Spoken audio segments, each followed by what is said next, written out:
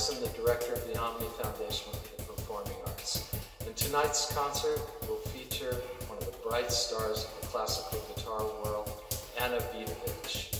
We first presented Ana in her San Francisco debut in March of 2003, and since then she's been a welcome guest on our series throughout the years. A couple of updates before we begin.